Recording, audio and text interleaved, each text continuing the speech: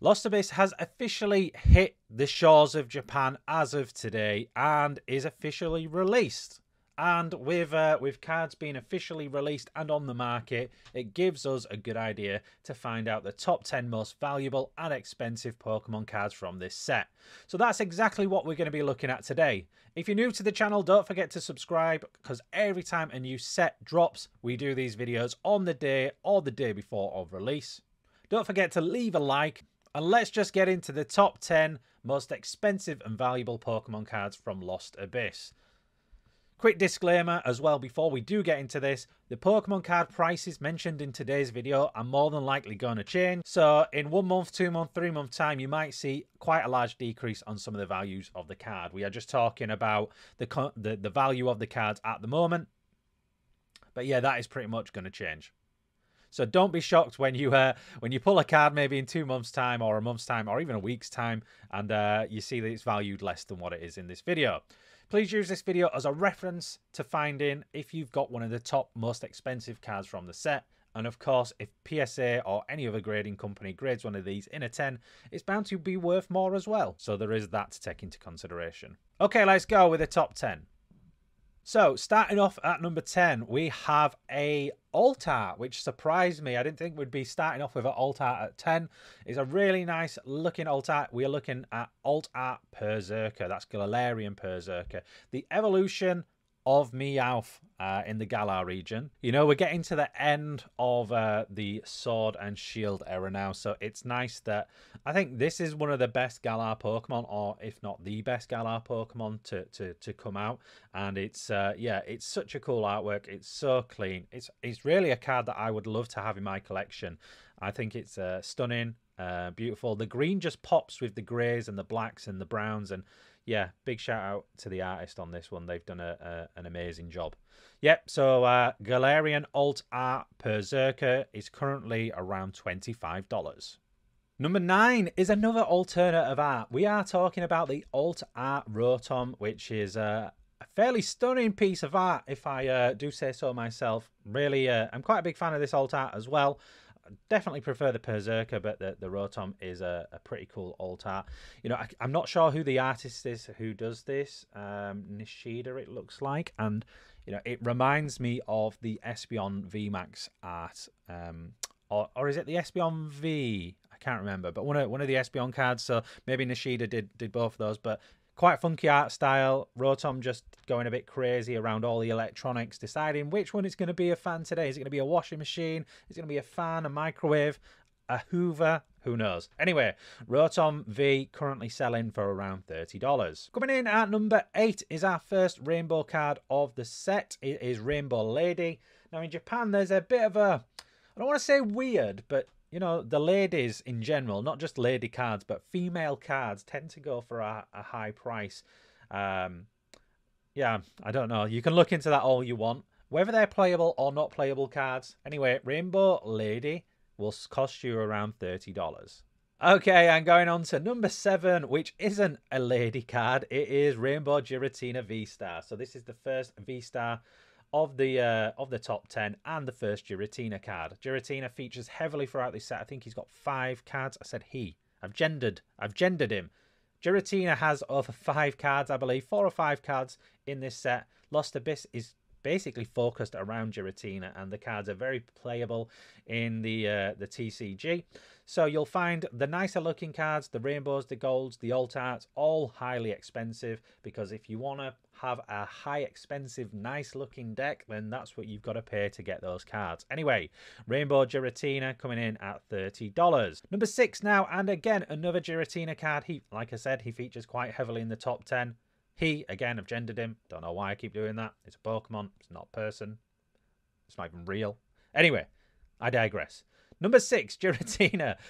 Uh, full art. It's a nice full art, actually. You know, most full arts are pretty boring. They've just got a pretty colourful background and a huge Pokemon on them. But Giratina's pretty nice. It's got, like, the darkness, you know, uh, focused in the background. I think it pops pretty nice.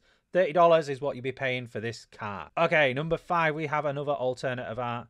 Probably the most popular alternative art um, that well that I've seen people talking about online, which is the Alt Art Aerodactyl. It is absolutely stunning. You've got Aerodactyl flying over an ancient landscape with uh, Tropiuses, Basilions, um, all kinds of different Pokemon. You know, he's flying over them. My main, my my main, my brain went completely dead, and I forgot all the names of all the other Pokemon that he's flying over. But it is such a stunning card, and uh, yeah, just just just so nice to look at and it's not expensive either in my opinion it's a $35 card that price will probably go down in a few weeks so if you do want to pick it up for your collection wait a couple of weeks and go and purchase it anyway $35 for the alt Aerodactyl. Number four now, we have our first gold card of the set. This is Gold Lost Sweeper.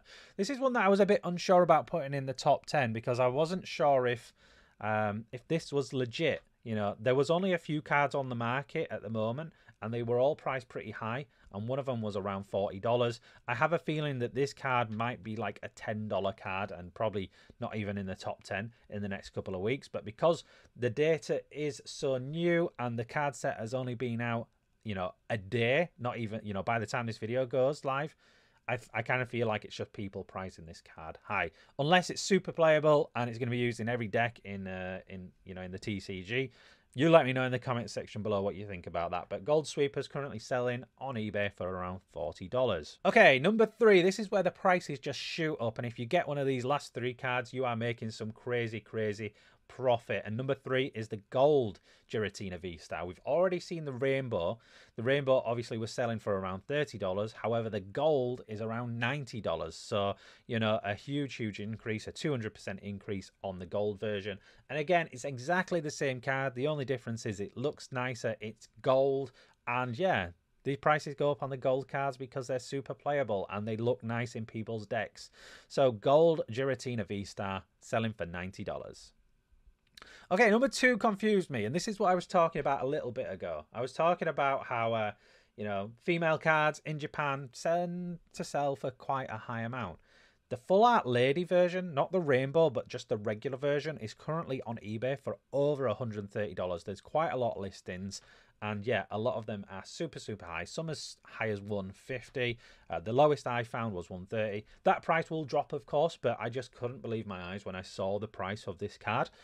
So yeah, not much to say about it other than it's a female, it's a full art, and uh, yeah, Japan, you're just crazy for uh, for pricing this card so high, $130, making it the second most expensive card in this set. And here we are at number one, the most expensive card in this set. It's an absolutely stunning alternative art. It is the alternative art Giratina. There's just so much going on on this, you know, on this card. Kaneda is making a, a, you know a huge name for himself in in, in Pokemon, and uh, his art style is absolutely stunning. I love this card. I have no idea what's going on. Is it Giratina going through another dimension?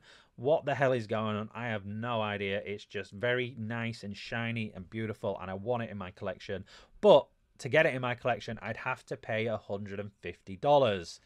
Most expensive card in the set, Alt Art Giratina V. So if you pull that card, pat yourselves on the back because you've done it. You've you completed the set, mate. You've done absolutely amazing. Anyway, guys, that's going to be the end of the video. That is the top 10 most expensive cards from Lost Abyss. The English card set Lost Origin will be coming out soon. You'll find some of these cards in there as well as other cards that we've not yet had from the Japanese sets. I'll be doing a video on that, so make sure you are subscribed to see that and I will see you in the next one. Thanks for watching. Oh, and also, if you want to see more of these videos, click some of these videos that have just popped up now. Thank you very much. See you guys. Peace.